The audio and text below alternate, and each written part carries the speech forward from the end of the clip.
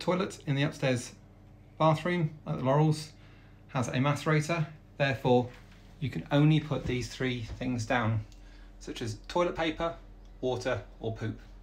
You must not put anything else down. Should you have any wet wipes or anything, there is a bin provided on the right hand side and for sanitary bow bags are provided next to it. Please use these and dispose them in the bin. Do not put anything else down, otherwise there will be a charge to fix this. Thank you.